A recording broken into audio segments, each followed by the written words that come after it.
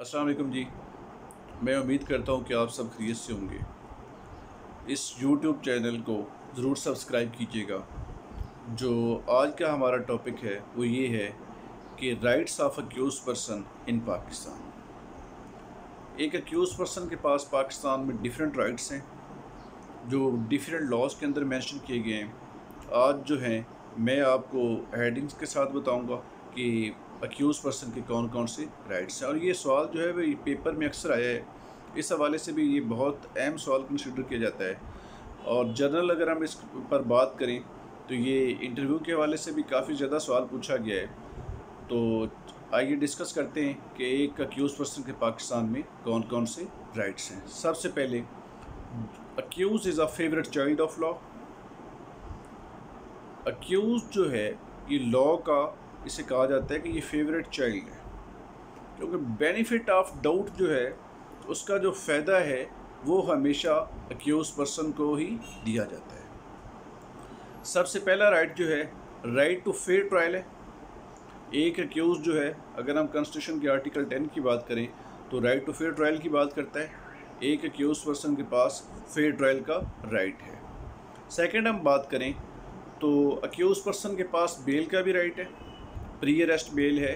Post arrest bail है CrPC में 497, 498 जो है इस सेक्शन को डील करते हैं कि अक्यूज़ पर्सन के पास बेल का राइट होता है। उसके बाद हमारे पास जो तीसरा राइट है वो है राइट ऑफ़ क्रॉस एग्जामिनेशन कि जो अक्यूज़ का काउंसिल होता है उसके पास ये राइट होता है कि वो क्रॉस एग्जामिनेशन कर सके। इस तरह अगर चौथे राइट की हम बात करें तो वो ये है कि एक क्यूज़ के पास ये भी राइट है। Under under constitution article ten उसके बाद three forty sub section one C R P C कि एक अक्यूज़ पर्सन जो है वो काउंसिल भी अंगेज कर सकता है। ये लॉ ने उसको प्रोवाइड किया है कि वो काउंसिल के ज़रिए जो है वो अपना केस जो है वो कंटेस्ट कर सकता है। उसके बाद हमारे पास जो नेक्स्ट आता है, वो ये है कि अक्यूज पर्सन को right to get copy of judgement ये सीआरपीसी में दिया गया है कि अक्यूज पर्सन जो है, उसको कॉपी जो है, वो प्रोवाइड की जाएगी।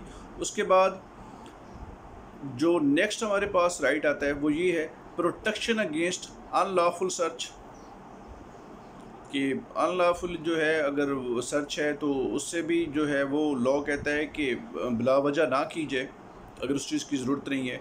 उसके बाद जो अक्यूज़ पर्सन है, उसके पास ये भी राइट है कि उसको विदाउट रिमांड 24 फोर आवर्स से ज़्यादा थाने में नहीं रखा जाएगा। ये भी एक जो है, इसको भी हम बहुत मेजर जो है, वो राइट कंसिडर करते हैं। ये सी आर पी सी के सेक्शन 61 में लिखा हुआ है। अब आगे अगर रिमांड की बात करें तो वो सेक्शन 167 बनता है। उसके बाद जो हमारे पास है कि प्रोटेक्शन अगेंस्ट अनलॉफुल अरेस्ट कि उसको अनलॉफुली जो है अरेस्ट अक्यूज पर्सन को नहीं किया जाएगा। उसके बाद जो हम ऑलरेडी इसका ज़िक्र कर चुके हैं कि right to produce before magistrate within twenty four hours जो सेक्शन सिक्सटी वन की बात की थी, उसके बाद है राइट टू जो है, ये जो हम बात करें right not to be witness against himself कि वो ये कॉन्स्टिट्यूशन का अगर हम बात करें तो वहाँ पर भी ये बात मेंशन है। उसके बाद सी आर पी सी की बात करें तो वहाँ पर भी लिखा हुआ है इस सेक्शन के हवाले से। उसके बाद 340 की 340 सब सेक्शन टू की जो स्टेटमेंट है, वो भी एक क्यूज पर्सन का राइट है। 342 की जो है, वो भी उसके पास राइट है कि उसके मतलब ये है कि सारे का सारा जितना इंटायर प्रोसिक्यूशन एविडेंस है, वो सारे का सारा जो है वो प्रोड्यूस किया जाए। उसके बाद जो हमारे पास नेक्स्ट ये है कि right to fair and speedy investigation का जो राइट है, वो भी अक्यूज पर्सन के पास है। जो नेक्स्ट हमारे पास है, वो जो राइट हम डिस्कस करने लगे हैं, वो बहुत अहमियत का हमल है। वो ये है कि right to get copies of documents जब हम मजिस्ट्रियल ट्रायल पढ़ते हैं सेशन ट्रायल पढ़ते हैं तो वहाँ पर भी इस चीज़ का ज़िक्र है कि उसको जो है वो कापी सप्लाईज की जाएँगी। उसके बाद प्रजम्पशन ऑफ़ इनोसेंस जो है, वो भी हमेशा अक्यूज़ को रहती है। ये सारे राइट्स जो हैं, ये डिफरेंट लॉज के अंदर हैं। ये मैंने वो राइट्स बात की हैं, उनके मतलब की है, जो कि सीआरबीसी में भी मेंशन है। अगर हम कॉन्स्टिट्यूशन देखें तो वहाँ पर भी मेंशन है। उसके बाद high court rules and orders देखें तो वहाँ पर भी मेंशन है। इसके अलावा बहुत सारे और भी राइट्स हैं, जो गाए बगाए मैं अपनी मुख्तलिफ़ लेक्चर्स में वो आपसे डिस्कस करता रहा हूँ।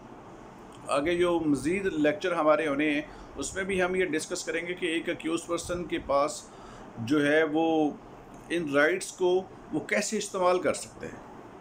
उसके अलावा जो हमने बात की थी आज कि एक अक्यूज़ पर्सन को कौन कौन से राइट्स हासिल हैं, ये हमने इसको जो हेडिंग के हिसाब से देखा है, उसके बाद इनके कुछ सेक्शंस हमने देखे हैं कि वो कौन कौन से सेक्शन में मेंशन है कि इनको राइट जो है वो कौन कौन से मिलेंगे। जो हमारे पास ये है कि अक्यूज़ पर्सन जो है उसके साथ अब ये भी राइट कंसिडर किया जाता है कि इल ट्रीटमेंट जो है वो ना किया जाए। उसके बाद ये है कि जब उसकी सज़ा पूरी जाती है तो इससे ज़्यादा उसको जेल में ना रखा जाए। उसके अलावा अगर जितना मतलब लॉ कहता है कि इसको इतनी सज़ा होगी, उससे बढ़ के सज़ा जो है आप उसको प्रोवाइड नहीं कर सकते। उसके बाद डबल जेपडी का जो प्रिंसिपल है वो भी जो है कि उसका एक राइट कंसिडर होता है और बहुत सारे राइट्स हैं। क्योंकि अगर हम इसकी लिस्ट करना चाहें तो हो सकता है कि ये जो अब फिफ्टी बन जाएँ, लेकिन ये जो मैंने आज आपसे डिस्कस किए हैं, ये बहुत ही अहम जो राइट्स हैं कि उसकी बाकी हम अपने जो अगले लेक्चर्स होंगे, उनमें डिफरेंट टॉपिक्स डिस्कस करेंगे। तो मुझे अपनी दुआओं में याद रखिएगा। शुक्रिया।